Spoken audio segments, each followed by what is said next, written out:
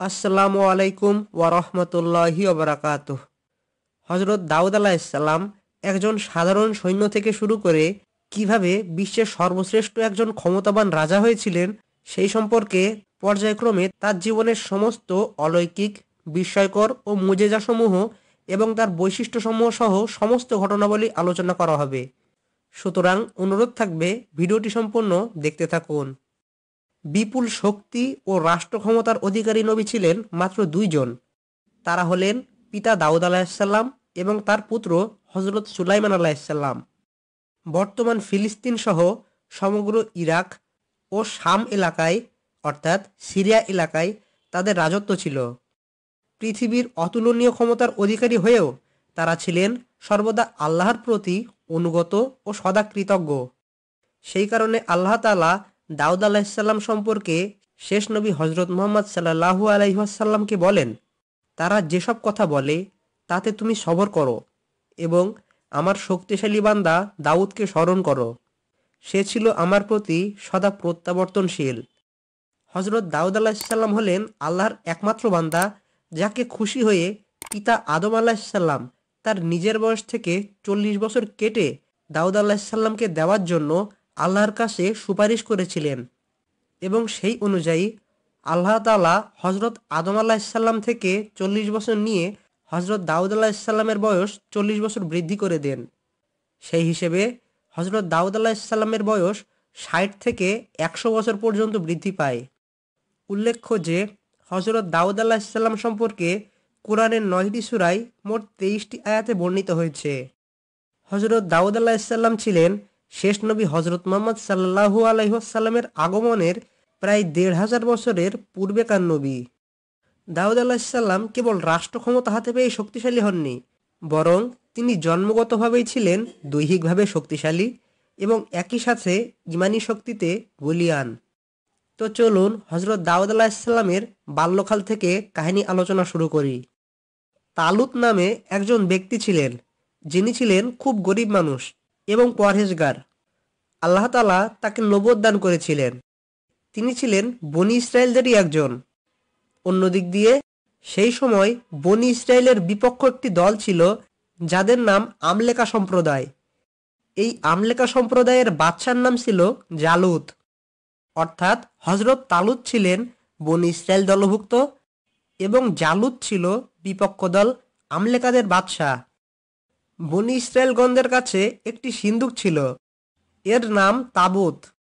এই সিন্দুকের মধ্যে তাদের নবী মোসা, হারুন ও তার পরিবারের ব্যবহৃত কিছু পরিত্যক্ত সামগ্রী ছিল।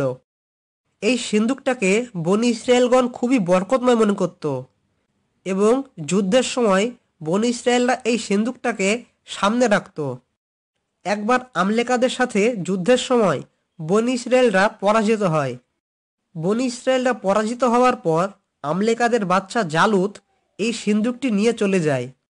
আমলেকা সম্প্রদায়ের বাদশাহ জালুদ যখন সিন্দুকটি নিয়ে চলে যায়, তখন বনি ইসরায়েলরা চিন্তায় পড়ে যায়, কারণ এই সিন্দুকটাকে তারা খুবই বরকতময় মনে করত।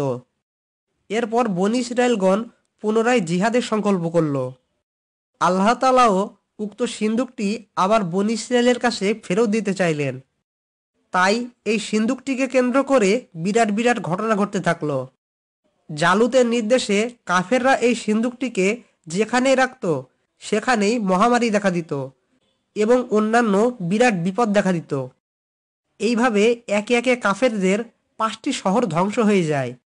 অবশেষে কাফেররা অতিষ্ঠ হয়ে যায় এবং মনে করে, সবই হচ্ছে এই সিন্দুকের কারণে। এই সিন্দুকের কারণেই তাদের সব ধ্বংস হয়ে যাচ্ছে। অবশেষে কাফেররা অতিষ্ঠ হয়ে চাইল এই সিন্দুকটিকে আবার বনি ইসরায়েলের কাছে পাঠিয়ে দিতে। তাই এই সিন্দুকটিকে গরুর গাড়ির উপরে উঠিয়ে দিল। তখন আল্লাহর নির্দেশে ফেরেস্তাগণ এই গরুর গাড়িটিকে তাড়িয়ে আনল এবং এই গরুর গাড়িটি এসে তালুতের ঘরের সামনে উপস্থিত হলো। আগেই বলেছি, তালুত ছিল একজন গরিব মানুষ। বনি ইসরায়েলগঞ্জ যখন দেখল যে তাদের বরকতময় সিন্দুকটি তালুতের ঘরের সামনে আছে তখন বনি ইসরায়েলগণ তালুতকে তাদের রাজা বানালো এবং তার নেতৃত্বের প্রতি আনুগত্য প্রদর্শন করল। এরপর তালুত আমলেকাদের বিরুদ্ধে যুদ্ধ পরিচালনার প্রস্তুতি গ্রহণ করলেন। সুতরাং তালুত হলেন বন ইসরায়েলের নেতা এবং জালুত হল কাফের সম্প্রদায় আমলেকাদের নেতা।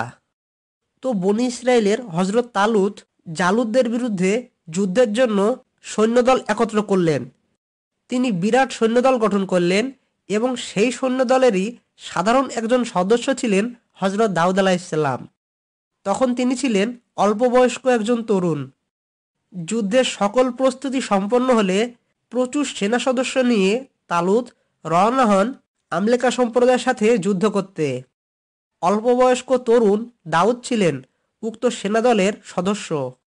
বিরাট সৈন্যদল নিয়ে তালুদ যখন যুদ্ধে যাচ্ছিলেন তখন তালুত তার সৈন্যদের পরীক্ষা করতে চাইলেন। যেতে যেতে সামনে একটি নদী পড়ল এবং সেই সময় ছিল প্রচুর গরম। পিপাসাতে বন ইসরায়েলের সব সৈন্যরা কাতর হয়ে পড়েছিল। এই সম্পর্কে পবিত্র কোরআনে বলা হয়েছে, অতপর তালুত যখন সৈন্যদল নিয়ে বের হলো, তখন সে বলল, নিশ্চয়ই আল্লাহ তোমাদেরকে পরীক্ষা করবেন একটি নদীর মাধ্যমে। যে ব্যক্তি সেই নদী থেকে পানি পান করবে সে ব্যক্তি আমার দলভুক্ত নয়। আর যে ব্যক্তি পানির স্বাদ গ্রহণ করবে না, সেই আমার দলভুক্ত হবে। তবে হাতের এক আজলা মাত্র। অতপর সবাই সেই নদী থেকে পানি পান করল, সামান্য কয়েকজন ব্যতীত। এরপরে তালুত যখন নদী পার হলো এবং তার সঙ্গে ছিল মাত্র কয়েকজন ইমানদার ব্যক্তি, কেননা অধিকাংশ সৈন্যরাই অধিক পানি পান করেছিল। লোকেরা বলতে লাগল আজকের দিনে জালুত ও তার সেনাবাহিনীর সাথে যুদ্ধ করার শক্তি আমাদের নেই। পক্ষান্তরে যাদের বিশ্বাস ছিল যে আল্লাহর সামনে একদিন তাদের উপস্থিত হতেই হবে, তারা বলল, আল্লাহর হুকুমে কত বড় বড় দলের বিরুদ্ধে ছোট ছোট দল বিজয় হয়েছে। নিশ্চয়ই আল্লাহ তালা ধৈর্যশীলদের সাথে থাকেন। বস্তুত ইমানদার হয়ে নদী পার হওয়া লোকজনের সংখ্যা ছিল মাত্র তিনশো তেরো জন।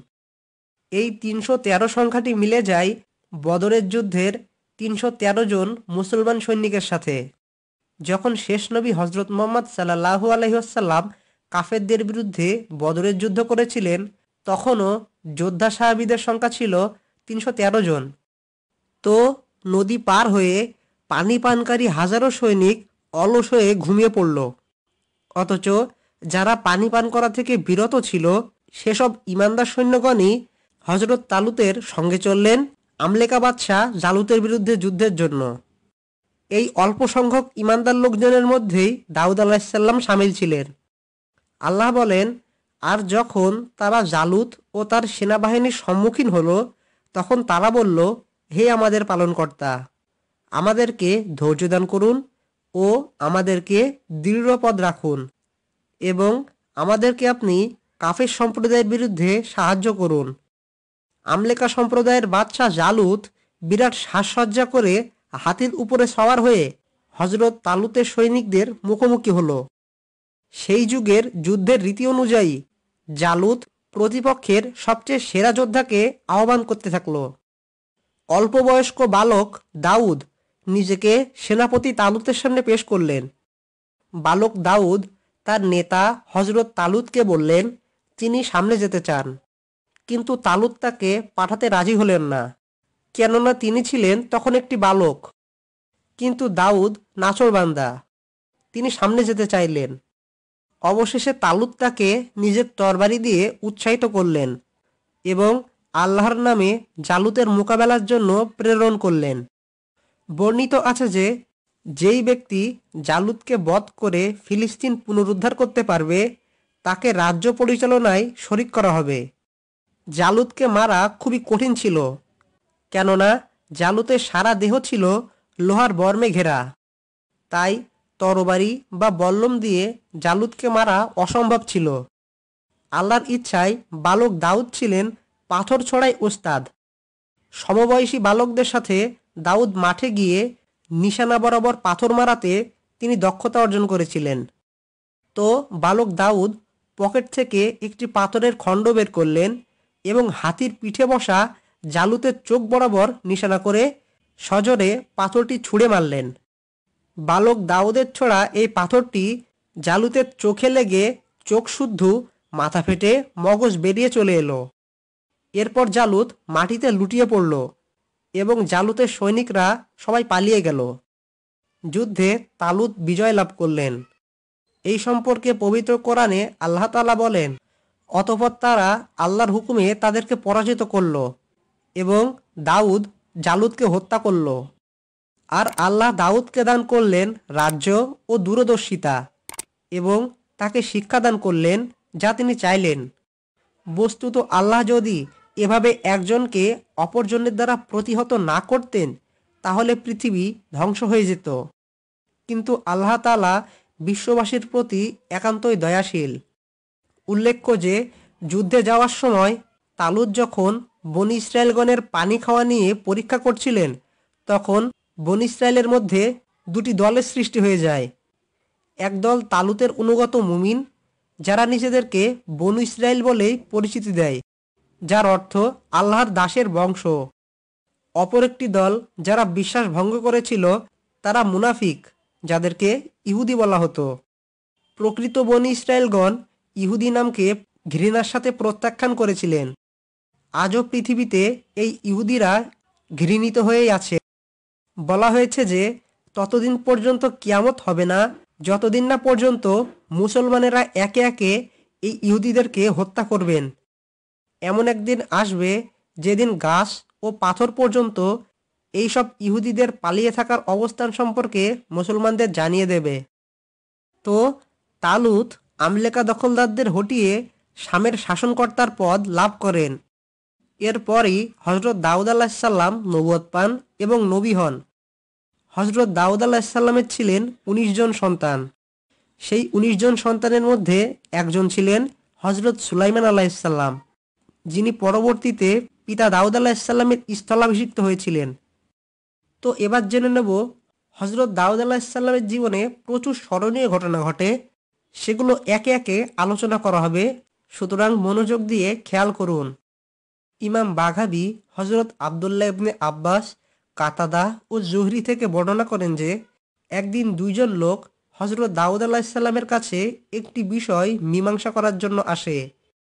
তাদের একজন ছিল শাকপালের মালিক এবং অন্যজন ছিল শস্য ক্ষেতের মালিক। যে লোকটি শস্য ক্ষেতের মালিক ছিল, সে শাকপালের মালিকের কাছে দাবি করল যে তার শাকপাল রাত্রিবেলা আমার শস্য ক্ষেতে চড়াও হয়ে সম্পূর্ণ ফসল বিনষ্ট করে দিয়েছে। সম্ভবত শস্যের মূল্য ও ছাগলের মূল্যের হিসাব সমান বিবেচনা করে হজরত দাউদ আলাহিসাল্লাম শাকপালের মালিককে বললেন, তোমার ছাকপাল তার শস্য ক্ষেতের যতটুকু সম্পদ নষ্ট করেছে, তার সমপরিমাণ মূল্যের ছাগল তুমি তাকে দিয়ে দাও। দাউদ আলাহিসাল্লামের এই বিচার পেয়ে বাদী ও বিবাদী উভয়ে বাদশাহ দাউদ আলাহিসাল্লামের আদালত থেকে বেরিয়ে আসার সময় দরজার মুখে তার পুত্র সুলাইমান আলাহিসাল্লামের সাথে দেখা হয়। সুলাইমান আলাহিসাল্লাম তাদের দুইজনের কাছে মোকাদ্দমার রায় সম্পর্কে জিজ্ঞাসা করেন। তারা দুইজন তাকে সম্পূর্ণ খুলে বলেন। তখন পুত্র সুলাইমান পিতা দাউদ আলাহিসাল্লামের কাছে গিয়ে বললেন, আমি রায় দিলে সেটা ভিন্ন রকম হতো এবং উভয়ের জন্য সেটা কল্যাণকর হতো। এরপর পিতা দাউদ আলাহিসাল্লাম তার পুত্র সুলাইমানকে রায় দিতে বলেন। তখন সুলাইমান আলাহিসাল্লাম বললেন, শাকপালগুলো শস্যক্ষেত্রের মালিককে সাময়িকভাবে দেওয়া হোক। শস্যক্ষেত্রের মালিক ছাগলগুলোর দুধ, পশম ইত্যাদি দ্বারা সাময়িকভাবে লাভবান হবেন। অন্যদিকে শস্যক্ষেত্রটি শাকপালের মালিককে দেওয়া হোক। সে তাতে শস্য উৎপাদন করবে। এরপর শস্যক্ষেত্র যখন শাকপালে বিনষ্ট করার পূর্বের অবস্থায় পৌঁছে যাবে, তখন শস্যক্ষেত্রটি শস্যক্ষেত্রের মালিকের কাছে ফেরত দিয়ে দেওয়া হবে এবং শাকপালগুলো শাকপালের মালিকের কাছে ফেরত দেওয়া হবে। এতে ক্ষতিপূরণ ও লাভবান উভয় হতে পারবে। হজরত দাউদ আলাহিসাল্লাম সন্তান সুলাইমানের রায়কে অধিক উত্তম বলে গণ্য করলেন এবং সেটাকে কার্যকর করার নির্দেশ দেন। এই ঘটনার প্রতি ইঙ্গিত করে আল্লাহ তালা বলেন আর স্মরণ করো দাউদ ও সুলাইমানকে। যখন তারা একটি শস্যক্ষেত সম্পর্কে বিচার করেছিল, যাতে রাত্রিকালে কারও মেষপাল ঢুকে পড়েছিল, আর তাদের বিচার কাজ আমার সামনেই হচ্ছিল। এরপর আমি সুলাইমানকে মোকদ্দমার ফায়সালাটি বুঝিয়ে দিলাম এবং আমি উভয়কে প্রজ্ঞা ও জ্ঞান দান করেছিলাম। বস্তুত পিতা পুত্র দুইজনের রায়ই সঠিক ছিল। তবে এর দ্বারা প্রমাণিত হয় যে বিচারক উত্তম মনে করলে তার পূর্বের রায় বাতিল করে নতুন করে রায় প্রদান করতে পারেন। দুই, ইবাদতখানায় প্রবেশকারী বাদী বিবাদীর বিচার। হজরত দাউদ আলাহিসাল্লামের ইবাদতখানায় একদিন দুইজন ব্যক্তি ঢুকে পড়েছিল। তারা দুইজন পাঁচিল টপকিয়ে হজরত দাউদ আলাহিসাল্লামের ইবাদতখানায় ঢুকেছিল। আল্লাহ বলেন, আপনার কাছে কি সেই বাদী বিবাদীর খবর পৌঁছেছে যখন তারা পাঁচিল টপকিয়ে দাউদের ইবাদতখানায় ঢুকে পড়েছিল, যখন তারা দাউদ আলাহিসাল্লামের কাছে প্রবেশ করল, তখন দাউদ আলাহিসাল্লাম তাদের থেকে ভীত হয়ে পড়ল। তখন তারা দুজন বলল, আপনি ভয় পাবেন না। আমরা দুজন বিবদমান পক্ষ। আমরা একে অপরের প্রতি বাড়াবাড়ি করেছি, অতএব আপনি আমাদের প্রতি বিচার করে দিন। কোনো অবিচার করবেন না। তখন দুইজনের একজন বলল, বিষয়টি এই যে, সে আমার ভাই। সে নিরানব্বইটি দুম্বার মালিক, আর আমি মাত্র একটি মাদি দুম্বার মালিক। এর পরেও সে বলে যে, এটি আমাকে দিয়ে দাও। আমার ভাই আমার উপরে কঠোর ভাষা প্রয়োগ করে। তখন দাউদ আলাহিসাল্লাম বললেন, সে তোমার দুম্বাটিকে নিজের সমস্ত দুম্বগুলির সাথে যুক্ত করার দাবি পেশ করে তোমার প্রতি অবিচার করেছে। শরিকদের অধিকাংশ লোকই একে অন্যের প্রতি বাড়াবাড়ি করে। এই ঘটনায় হজরত দাউদ আলাহিসাল্লাম ধারণা করলেন যে আল্লাহ তাকে পরীক্ষা করছেন। তখন দাউদ আলাহিসাল্লাম আল্লাহর কাছে প্রার্থনা করলেন এবং সিজদায় লুটিয়ে পড়লেন। তখন আল্লাহ তাকে ক্ষমা করে দিলেন। এখানে কি বিষয়ে দাউদ আলাহিসাল্লাম ভুল করেছিলেন এবং আল্লাহ তাকে কেন পরীক্ষা করেছিলেন সেই ব্যাপারে বিস্তারিত কিছু জানা যায়নি। দাউদ আলাহিসাল্লামকে আল্লাহ তালা ক্ষমা করেছিলেন, এই ব্যাপারে ইহুদি পণ্ডিতেরা বিভিন্ন মত দিয়ে থাকে। ইহুদি পণ্ডিতেরা বলেছে যে, দাউদ আলাহিসাল্লামের নাকি নিরানব্বই জন স্ত্রী ছিল। এর সত্ত্বেও, দাউদ আলাহিসাল্লাম তার এক সৈন্যের স্ত্রীকে অপহরণ করেন। অতপর উক্ত সৈনিককে হত্যা করে তার স্ত্রীকে বিবাহ করেন। এই ঘটনার নিন্দা জানিয়ে আল্লাহ তালা দুজন ফেরেস্তাকে বাদী ও বিবাদী বেশে দাউদ আলাহিসাল্লামের কাছে প্রেরণ করেন এবং তাকে শিক্ষা দেন। নাউজুবিল্লাহ। এই ঘটনায় বিশ্বাস করা যাবে না। আল্লাহ তালা দাউদ আল্লাহ আলাহিসাল্লামকে কেন ক্ষমা করেছিলেন, এটা একমাত্র আল্লাহই জানেন। তিন, শনিবারওয়ালাদের পরিণতি। বনি ইসরায়েলদের জন্য শনিবার ছিল সাপ্তাহিক ছুটির দিন এবং ইবাদতের জন্য নির্দিষ্ট ও পবিত্র দিন। এই শনিবারে বনি ইসরায়েলদের জন্য মাছ শিকার করা নিষিদ্ধ ছিল। মূলত তারা ছিল সমুদ্রের ধারের বাসিন্দা এবং মৎস্য শিকার ছিলই তাদের পেশা। কিন্তু দাউদ আলাহিসাল্লামের নিষেধাজ্ঞা অমান্য করে তারা শনিবার দিন মাছ শিকার করতে থাকে। এর কারণে তাদের উপরে আল্লাহর পক্ষ থেকে মশক বা আকৃতি পরিবর্তনের শাস্তি নেমে আসে এবং তিন দিনের মধ্যেই তারা সবাই মৃত্যুর মুখে পতিত হয়। এই ঘটনাটি পবিত্র কোরআনে বর্ণিত হয়েছে। আল্লাহ তালা মদিনার ইহুদিদের উদ্দেশ্যে বলেন, আর তোমরা তো তাদেরকে ভালোভাবেই জানো যারা শনিবারের ব্যাপারে সীমালঙ্ঘন করেছিল। আমি তাদেরকে বলেছিলাম, তোমরা নিকৃষ্ট বানর হয়ে যাও। এরপর আমি এই ঘটনাকে তাদের সমসাময়িক ও পরবর্তীদের জন্য দৃষ্টান্ত হিসেবে এবং আল্লাহ ভিরুদের জন্য উপদেশ হিসেবে রেখে দিলাম। তাপসিরে কুর্তুবিতে বলা হয়েছে যে, ইহুদিরা প্রথমে গোপনে মাছ শিকার করতে থাকে। এরপর বিভিন্ন কৌশলে এবং পরে ব্যাপকভাবে নিষিদ্ধ দিনে মাছ শিকার করতে থাকে। এতে তারা দুটি দলে বিভক্ত হয়ে যায়। যারা সৎ ছিল, তারা এই কাজে বাধা দেন। কিন্তু অপর দল বাধা অতিক্রম করে মাছ ধরতে থাকে। যারা অবাধ্য হয়েছিল, তারা ভালো মানুষদের সাথে সম্পর্ক ছিন্ন করে এবং তাদের বাসস্থান সরিয়ে নেয়। একদিন তারা অবাধ্যদের এলাকায় চরম নিরাপত্তা লক্ষ্য করেন। অতপর তারা সেখানে যখন পৌঁছলেন তখন দেখলেন যে সবাই বানর ও শুকরে পরিণত হয়ে গেছে। কাতাদাহ বলেন যে বৃদ্ধরা শুকরে এবং যুবকেরা বানরে পরিণত হয়ে গিয়েছিল। রূপান্তরিত বানরেরা নিজ নিজ আত্মীয় স্বজনকে চিনতে পেরেছিল এবং তারা তাদের কাছে গিয়ে অঝর নয়নে কাঁদতে থাকল। সহি মুসলিমে হজরত আবদুল্লাহ ইবনে মাসুদ রাজি আল্লাহ তালাহু হতে বর্ণিত হয়েছে যে একদিন কয়েকজন সাহাবি রসুল্লাহ সাল্লাহ আলহিহাসাল্লামকে জিজ্ঞাসা করলেন, হে রসুল, এই যুগের বানর শুকরগুলো কি সেই আকৃতি পরিবর্তিত ইহুদি সম্প্রদায়? তখন রসুল্লাহ সাল্লাহ আলহিহাসাল্লাম বললেন, আল্লাহ তালা যখন কোনো সম্প্রদায়কে ধ্বংস করেন কিংবা তাদের উপরে আকৃতি পরিবর্তনের আজাব নাজিল করেন, তখন তাদের বংশধারা থাকে না। আর বানর শুকর পৃথিবীতে পূর্বেও ছিল, ভবিষ্যতেও থাকবে। ইবনে আব্বাস রাদিয়াল্লাহ তালাহনু বলেন, তারা খায় না, পান করে না এবং তিন দিনের বেশি বাঁচে না। তো চলুন এবার জেনে নিই হজরত দাউদ আলাহিসাল্লামের অনেকগুলো বিশেষ বিশেষ বৈশিষ্ট্য যেগুলো আল্লাহ তালা তাকে দান করেছিলেন। আল্লাহ তালা হজরত দাউদ আল্লাহিসাল্লামকে অপূর্ব সুমধুর কণ্ঠস্বর দান করেছিলেন। হজরত দাউদ আলাহিসাল্লাম যখন জবুত তেলাওয়াত করতেন, তখন শুধু মানুষ না পাহাড় ও পক্ষীকুল পর্যন্ত তা একমনে শুনত। এদিকে ইঙ্গিত করে আল্লাহ তালা বলেন, আমি দাউদের প্রতি আমার পক্ষ থেকে অনুগ্রহ প্রদান করেছিলাম।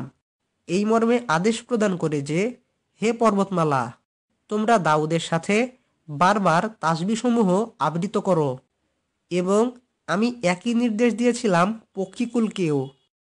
আধুনিক বিজ্ঞান প্রমাণ করে দিয়েছে যে পাহাড় ও মাটির এক ধরনের জীবন রয়েছে, যা তাদের জন্য উপযোগী। এই বিষয়ে অন্যখানে আল্লাহ তালা বলেন, আমি পাহাড়কে ও পক্ষীকুলকে দাউদের অনুগত করে দিয়েছিলাম। তারা তাসবি পাঠ করত। এই সমস্ত আমি করেছিলাম। শেষ নবী হজরত মোহাম্মদ সাল্লাহু আলহিহাসাল্লামের জন্য বনের পশু, পাহাড় ও গাছ তার সামনে মাথা নুয়েছে ও ছায়া করেছে। এমনকি নিজের স্থান থেকে উঠে এসে বৃক্ষ তার সামনে দাঁড়িয়েছে। এগুলো সবই চাক্ষুষ ঘটনা। একদিন রসুল্লাহ সাল্লাহু আলাইসাল্লাম ও তার তিন সাথী, আবু বক্কর, ওমর ও উসমান, একটি পাহাড়ে উঠলেন। তখন পাহাড়টি কাঁপতে শুরু করল। রসুল্লাহ সাল্লাহু আলাইসাল্লাম পাহাড়টিকে বললেন, স্থির হও। তোমার উপরে আছেন একজন নবী, একজন সিদ্দিক ও দুইজন শহীদ। এরপর উক্ত পাহাড়টি স্থির হয়ে যায়। এই ঘটনার দ্বারা উদ্ভিদ ও পর্বতের জীবন ও অনুভূতি আসে বলে প্রমাণিত হয়। অতএব আল্লাহর অপর নবী দাউদ আলাহিসাল্লামের জন্য পাহাড়, পক্ষী ও লোহা ইত্যাদি অনুগত হবে, এতে বিস্ময়ের কিছু নেই। মহান আল্লাহ তালা ইচ্ছা করলে কি না পারেন? আল্লাহ তালা তার নবী হজরত দাউদ আলাহিসাল্লামকে আধ্যাত্মিক ও দৈহিক শক্তিতে বলিয়ান করে সৃষ্টি করেছিলেন। যেমন আল্লাহ তালা বলেন, স্মরণ করো আমার বান্দা দাউদকে। সে ছিল শক্তিশালী এবং আমার প্রতি সদা প্রত্যাবর্তনশীল। বুখারি ও মুসলিমের এক হাদিসে এসেছে রসুল্লাহ সাল্লাহ আলহিহাসাল্লাম বলেন, আল্লাহ তালার কাছে সবচেয়ে পছন্দের সালাত হলো দাউদ আলাহিসাল্লামের সালাত এবং সবচেয়ে পছন্দনীয় সিয়াম হলো দাউদ আলাহিসাল্লামের সিয়াম। তিনি অর্ধেক রাত পর্যন্ত ঘুমাতেন। এরপর এক তৃতীয়াংশ সালাতে কাটাতেন এবং রাতের ছয় ভাগের শেষ ভাগে তিনি ঘুমাতেন। দাউদ আলাহিসাল্লাম একদিন পর পর সিয়াম রাখতেন। শত্রুর মোকাবেলায় তিনি কখনো পিছিয়ে যেতেন না। পাহাড় ও পক্ষীকুল হজরত দাউদ আলাহিসাল্লামের অনুগত ছিল। যেমন আল্লাহ তাল্লাহ বলেন, আমি পর্বতমালাকে তার অনুগত করে দিয়েছিলাম। তারা সকাল সন্ধ্যায় তার সাথে পবিত্রতা বর্ণনা করত। আর পক্ষীকুলকেও, যারা তার কাছে সমাবেত হতো। সবাই ছিল তার প্রতি প্রত্যাবর্তনশীল।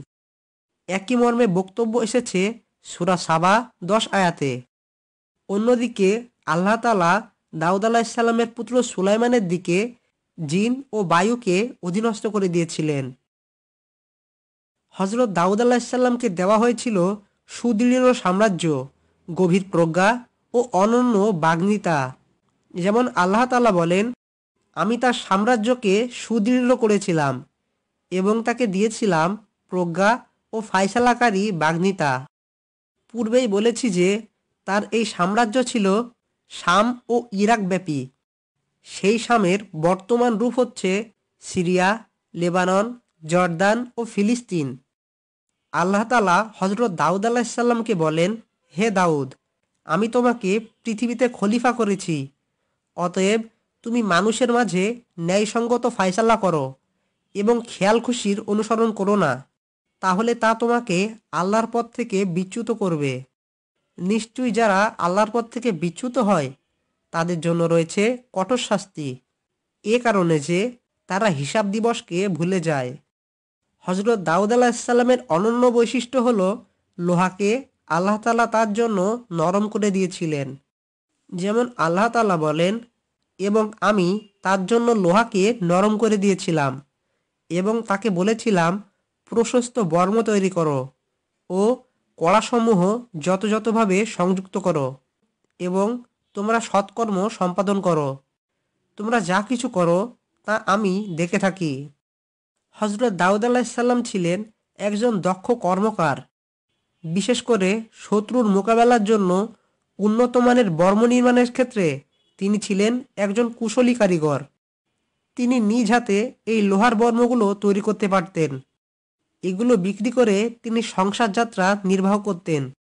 তিনি এত বড় খলিফা হওয়া সত্ত্বেও রাষ্ট্রীয় কোষাগার থেকে হজরত দাউদ আলাহিসাল্লাম নিজের ভরণ পোষণের জন্য কিছুই নিতেন না। ইতিহাস থেকে জানা যায় যে ভারতবর্ষের বাদশাহ আওরঙ্গজেব নিজের হাতে টুপি সেলাই করে তা বাজারে বিক্রি করে জীবিকা নির্বাহ করতেন। রাষ্ট্রীয় কোষাগার থেকে তিনি কিছুই নিতেন না। বস্তুত নবী রাসুলগণই ছিলেন সকল উন্নত চরিত্রের প্রতিকৃত। আল্লাহ বলেন, আর আমি তাকে তোমাদের জন্য বর্ম নির্মাণ কৌশল শিক্ষা দিয়েছিলাম, যাতে তা যুদ্ধের সময় তোমাদেরকে রক্ষা করে। অতএব তোমরা কি কৃতজ্ঞ হবে? আল্লাহ তালা হজরত দাউদ আলাহিসাল্লামকে নবদ দান করেন এবং তাকে এলাহি কিতাব জবুর দান করেন। জবুর দান করে কিতাবধারী রসুলের মর্যাদায় অভিষিক্ত করেন। আল্লাহ তালা বলেন, আমি দাউদকে জবুর প্রদান করেছিলাম। হজরত দাউদ আলাহিসাল্লামকে আল্লাহ তালা অতুলনীয় সাম্রাজ্য দান করেছিলেন, সেটা যেন জবুরেরই ভবিষ্যৎবাণীর বাস্তব রূপ। কেননা জবুর কিতাবে আল্লাহ তার সৎকর্মশীল বান্দাদেরকে পৃথিবীর অধিকারী হওয়ার সুসংবাদ দিয়েছেন। যেমন আল্লাহ বলেন, আমি বিভিন্ন উপদেশের পর জবুরে এই কথা লিখে দিয়েছি যে, আমার সৎকর্মশীল বান্দাগণ অবশেষে পৃথিবীর উত্তরাধিকারী হবে। হজরত তালুতের পরে বনি ইসরায়েলের অবস্থা ক্রমেই শোচনীয় পর্যায়ে চলে যায়। জালেম বাদশাদের দ্বারা তারা সামদেশ থেকে বিতাড়িত হয়। বিশেষ করে পারস্যরাজ বুক্তানসর যখন তাদের সামদেশ বহিষ্কার করলেন, তখন তাদের একদল হেজাজে গিয়ে বসবাসের সিদ্ধান্ত নিল।